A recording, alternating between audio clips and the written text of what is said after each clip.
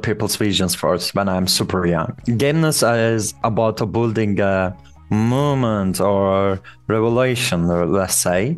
So we decided because we see a problem. So I'm not a let's say 200 IQ guy. I'm a very smart, uh, very basic guy. So we see the problem. We said, okay, industry needs user acquisition, and there's a too many different approaches. We can fix that. And after that, we create a gameness because of that. The timing feels right because the tech, because the community, and the frustration with the old system or um, the other things are all aligned now and we start to build gameness after that. We see the problem, we came, we fixed.